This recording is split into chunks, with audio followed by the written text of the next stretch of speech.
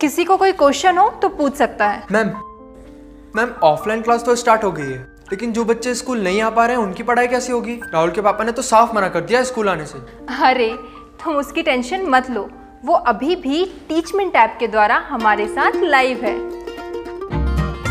शहर शहर गाँव गाँव अब टीचर्स ले रहे हाइब्रिड क्लास टीचमेंट के यूनिक फीचर्स के साथ।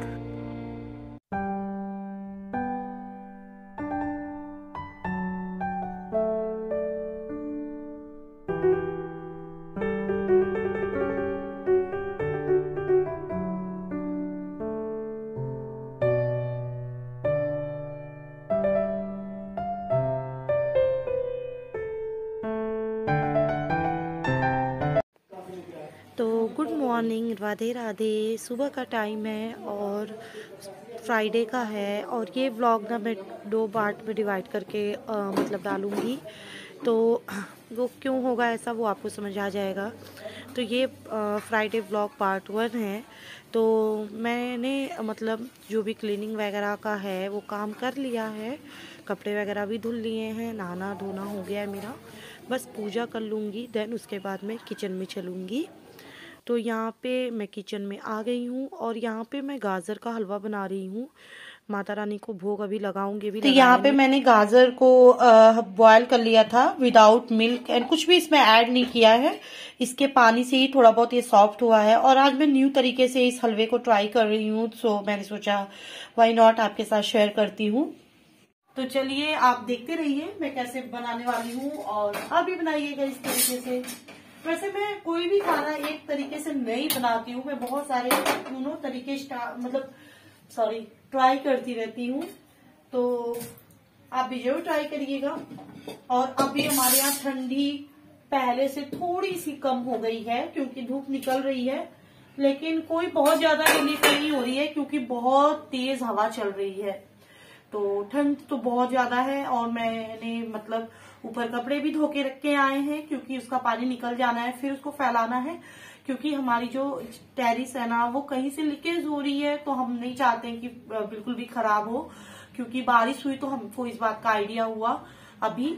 तो हम मार्च में उसको बनाएँगे, क्योंकि अभी बहुत ज़्यादा सर्दी है ना, और फैब में मतलब फेबररी मंथ में मेरे बेटे का एग्ज़ाम भी है, सो वो एग्ज़ाम उनका निकल जाए, एंड थोड़ा सा दिन भी अच्छा हो जाए फिर हमने मिस्त्री लोगों से बात कर रखी है और उसके बाद हम घर में भी टाइल्स लगवाने का सोच रहे हैं दीवारों में, क्योंकि दीवार में आई डोंट नो सीलन कहाँ से आती है नीचे और वो पेंट छोड़ने लगते हैं तो फिर अच्छा भी नहीं लगता। रोज मतलब यू नो घर भी गंदा होता है और देखने वालों को भी अच्छा नहीं लगता और टेरिस का भी काम कराना है। तो बहुत ज़्यादा तो हम रीच नहीं है कि बहुत ज़्यादा रीच है। हमारा छोटा सा घर है, अपना है, लेकिन हमारा छोटा सा घर है। अपना, लेकिन घर छोटा हो या बड़ा, उससे मैटर नहीं करता। मैटर रहने वालों के प्यार एंड लगाव पे डिपेंड करता है। तो हम तो यहाँ हस्बैंड वाइफ और मेरा बेटा, पहले बहुत सारे लोग रहते थे, मेरे देवर, मेरे ससुर जी। लेकिन तब मैं ब्लॉगिंग नहीं करती थी कि मैं आपको दिखाती। अब तो नहीं रहते हैं। देवर जी का प्राइमरी में सिलेक्शन हो गया है तो वो चले गए हैं बदायूं और ससुर जी चले गए हैं गाँव पे, क्योंकि आपको पता है कोरोना आ गया था तो सभी फैक्ट्रियाँ बंद हो गई थी तो वो चले गए थे। एंड अब तो फिर हम ही हैं न्यूक्लियर फैमिली हो गई अभी हमारी फ़िलहाल यहाँ पे। तो चले मैं ज़्यादा बातें नहीं करती हूँ ना बातें ही करने लग जाऊँगी। चलिए, मैं फटाफट से शेयर करती हूँ। यहाँ पे हम गाजर को ना कढ़ाई में पहले खाली कर देंगे। ओके? लो फ्लेम कर लेंगे और गाजर को सारा मतलब इसमें खाली कर लेंगे। उसके बाद हम इसमें ऐड कर देंगे अपने टेस्ट के अकॉर्डिंग शुगर अगर आप ज़्यादा मीठा खाते हैं तो ज़्यादा ऐड करिए, कम खाते हैं तो कम करिए। बिल्कुल नहीं खाते हैं तो स्किप भी कर सकते हैं, क्योंकि बहुत सारे लोग यू नो मीठा नहीं खाते हैं।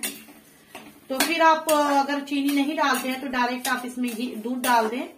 मैं, मुझे चीनी डालना था तो मैं इसके पानी से, जो चीनी का पानी है ना, इसके पानी से भी अपने गाजर को थोड़ा सॉफ्ट कर लूँगी। उसके बाद मैं इसमें अपना मिल्क ऐड करूँगी ओके तो चलिए, थोड़ी देर बाद मिलती हूँ आपको। थोड़ा ये चीनी के पानी से सॉफ्ट हो जाए। जब तक हमारी गाजर चीनी के पानी में मतलब सॉफ्ट हो रही है, तब तक मैं अपना दाल चढ़ा लेती हूँ, क्योंकि मेरा व्रत है और आज मैं सब्ज़ी नहीं बनाऊँगी। आज मैं बना दूँगी पालक वाली दाल, जिसको पैता भी कहते हैं। हालाँकि मैं उसकी रेसिपी शेयर नहीं कर रही हूँ आज, क्योंकि ब्लॉग ऑलरेडी लंबा हो जाएगा। और मेरे बाबू को ये वाली दाल बहुत पसंद है, मेरे हबी को भी बहुत पसंद है। सो दो ही लोग हैं खाने वाले तो फिर मैं क्या दाल सब्ज़ी दोनों बनाऊँ? तो मैं ऐसा बना दूँगी कि दाल सब्ज़ी दोनों का काम कर दे। तो चलिए मैं फटाफट से चढ़ा लेती हूँ दाल देन उसके बाद आपसे मिलती हूँ। तो बस अब यहाँ पे आ, मैं दाल जो है वो चढ़ाऊँगी। पालक पहले मैंने धुल के चॉप कर ली हुई थी और दाल को भी अपने धुल के रख लिया हुआ था क्योंकि आ, मैं प्रिपरेशन पहले कर लेती हूँ। थोड़ा सा इजी हो जाता है खाना बनाना नहाने धोने के बाद क्योंकि ना मैं कितना भी बचाती हूँ बट मेरा जो ये स्लीव्स है ना वो थोड़ा बहुत भीग ही जाता है तो मैं धोने वाला काम नहाने से पहले ही कर लेती हूँ। सिर्फ़ थोड़े बहुत बर्तन वगैरह जो रहते हैं वही धुलते हैं। दाल मैंने ऑलरेडी डाल दी थी। सब कुछ डाल के इसमें चढ़ा दिया है और फ्राई मैं बाद में करूँगी और यहाँ पे इसको भी मैं सॉफ्ट होने दे रही हूँ चीनी के पानी में। और बीच बीच में मैं इसको चला रही हूँ क्योंकि हमें देखते रहना है। नहीं तो अगर पानी सूख जाएगा, नीचे से लग जाएगा तो फिर हमारा टेस्ट उतना अच्छा नहीं आएगा। और यहाँ मैं आ गई हूँ टेरिस पे और जैसा कि मैंने आपको बताया था कि मैं कपड़े धो के आई हूँ, पानी निकलने के लिए रखी हूँ तो ये वाला स्वेटर जो है ना, इसका पानी नहीं निकला था हस्बैंड का था तो मैंने ऐसे फैला के बाल्टी रख दी है, जो भी पानी होगा उसमें जाएगा। और बाकी जो कपड़े हैं, उनके पानी तो निकल गए हैं तो मैं डाल दूँगी। और इतना अच्छा धूप लग रहा था ना कि मैं आपसे क्या बताऊँ, आपको देख के भी लग रहा होगा। और इस तरीके से धूप में कपड़े जब मैं फैलाती हूँ नहाने धोने के बाद तो मुझे बहुत अच्छी फीलिंग आती है। और मुझे बिल्कुल भी मन नहीं होता कि मतलब मैं नीचे जाऊँ। मेरा मन होता है कि बस ऐसे ही छत पर टहलती रहूँ। केक के लिए भूख लगी है। तो आज है कार्तिक के चाचा जी का बर्थडे और वो है नहीं, और कार्तिक को भूख लगी है केक के लिए। किसके लिए भूख लगी है? केक के लिए केक के लिए। केक के लिए लगी है। हाय। हाय भी कर लेंगे। तो फाइनली मेरा यहाँ पे कपड़ा फैल गया है। धूप बहुत अच्छी है जाने का मन नहीं है। लेकिन जाना तो पड़ेगा ही क्योंकि नीचे काम है। तो चलिए वापस से नीचे चलते हैं और अपने काम में लग जाते हैं। मैं ऊपर से आने का बिल्कुल मन नहीं हो रहा था। आपको भी अच्छा लग रहा था ना ऊपर लेकिन अब क्या कर सकते हैं? नीचे तो आना ही पड़ेगा। नीचे काम है ना। और यहाँ पे मेरे हबी जी अभी नहाने जा रहे हैं वहाँ पे और मेरा बेटा जो है वो आधा पढ़ रहा है, आधा केक के लिए डिमांड कर रहा है, आधा इधर उधर कर रहा है। ऐसे ही होती है हमारी मॉर्निंग की लाइफ टाइम की बात करूँ तो टाइम हो रहा है इलेवन का। इलेवन ट्वेंटी का आई थिंक मैं भी देख लूँगी, आप भी देख लेना। ये देखो। इलेवन ट्वेंटी का हो रहा है। तो चलिए फटाफट से हलवा बना के और माता रानी को भोग लगा देते हैं। क्योंकि अभी मैंने भी सुबह से कुछ भी चाय वगैरह नहीं पिया है तो चलिए अभी दिखाती हूँ आगे। तो हमारा जो है चीनी का पानी गाजर में से सूख गया है। अब हम अपने हिसाब से दूध ऐड कर देंगे, जितना भी ऐड करना हो आपको। ऐड कर दीजिए। मैं बात करूँ तो मैंने आधा किलो दूध इसमें लिया था। इसमें से मैंने आधा दूध बचा लिया है, यानी मैंने ढाई सौ ग्राम के लगभग दूध ऐड किया है। गाजर की बात करूँ तो एक किलो में तीन पाव समझ लीजिए गाजर थी, एक किलो में एक पाव कम थी। तीन पाव गाजर में मैंने एक पाव दूध ऐड किया है, ओके? तो अभी देखते हैं, अगर ज़रूरत पड़ेगी तो इसको भी ऐड कर देंगे, नहीं तो फिर इतने दूध में इसको बना लेंगे।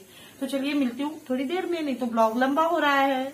तो जब तक मेरा हलवा रेडी हो रहा है, तब तक मैंने सोचा, जिस शैम्पू से मैं इस समय हेयर वॉश कर रही हूँ, उसका रिव्यू दे दूँ आपको, क्योंकि हमको अच्छे शैम्पू की तलाश हमेशा होती है, हम लेडीजों को, क्योंकि हमारा हेयर फॉल का प्रॉब्लम रहता ही रहता है। कभी सीज़न चेंज होता है, कभी किसी और रीजन से। गर्मियों में भी हम बाहर वगैरह जाते हैं तो सनलाइट हमारे हेयर को नुकसान पहुंचाती है। पॉल्यूशन डस्ट बहुत सारी चीज़ें हैं जो हमारे हेयर को हार्म करते हैं ना। तो अभी जो मैं शैम्पू यूज़ कर रही हूँ वो इसलिए कर रही हूँ क्योंकि बीच में मेरे भी बाल बहुत ज़्यादा टूट रहे थे आई डोंट नो वाई और मैं बहुत ज़्यादा परेशान हो गई थी जगह जगह से ऐसे खाली से लग रहे थे। मेरे बाल पहले से भी बहुत कम है लेकिन टूटने की वजह से और भी कम हो रहे थे।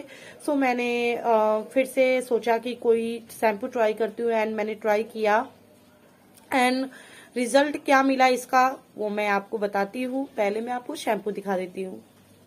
तो शैम्पू यहाँ पे आप देख सकते हैं Mamaearth onion shampoo with onion plant keratin for hair fall control. Paraben sulphate free है एंड डर्मोलॉजिस्ट टेस्टेड है फॉर ऑल हेयर टाइप्स है। और इसके आ, मतलब क्वांटिटी की बात करें तो 200 हंड्रेड है। और यहाँ पे नीचे आप देख सकते हैं ब्लू लाइन पे न्यू इम्प्रूव्ड है यानी इम्प्रूव्ड भी है पहले से। प्राइस की बात करें तो two hundred forty nine rupees है, जो कि हमको ऑफ़र में टू हंड्रेड में मिला था।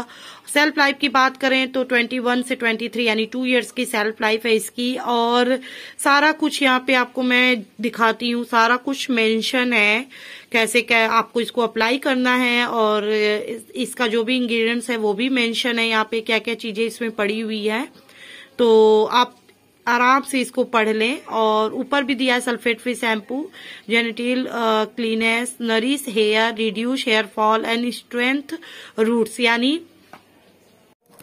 यानी ये आपके जो है बालों को नरिश करेंगे और आपके जो रूट है ना, उनको भी मज़बूत करेंगे और आपके हेयर फॉल को कंट्रोल करेंगे।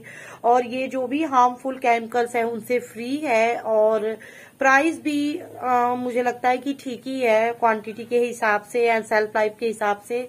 तो मैं इसको यूज़ करते मुझे थ्री वीक हुए हैं एंड वीक में मैं टू टाइम्स हेयर वॉश करती ही करती हूँ।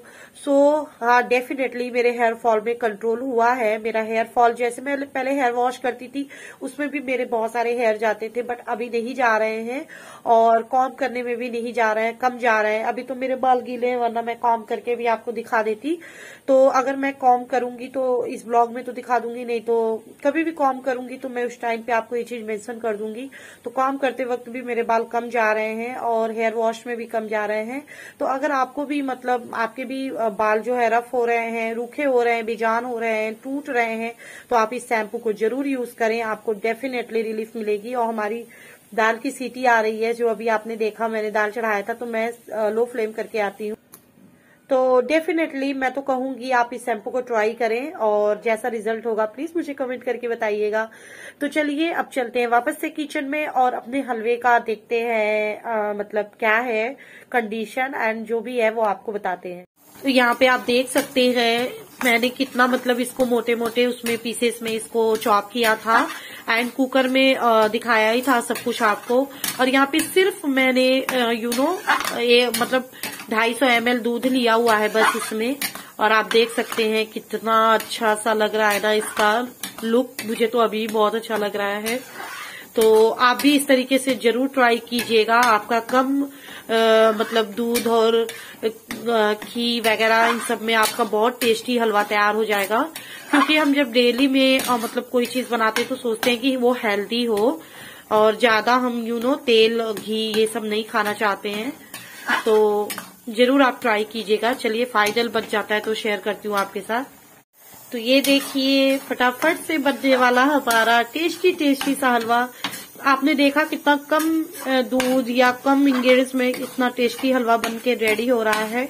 तो इस मोमेंट पे हम यहाँ पे ऐड करेंगे देसी घी। और ये भी मैं बहुत ज़्यादा नहीं ऐड कर रही हूँ, इतना ही ऐड कर रही हूँ।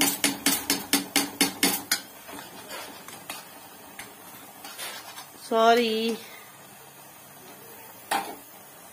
बस इसको हम अच्छे से मिक्स कर देंगे, जिससे हमारी पूरी कढ़ाई जो है वो साफ़ हो जाए, घी डालने से ना कढ़ाई पूरा जो हलवा है वो छोड़ देगा। ओके तो चलिए फिर मिलती हूँ अभी। तो फाइनली हमारा हलवा बनके रेडी हो गया है तो चलिए हम लगा देते हैं माता रानी को भोग।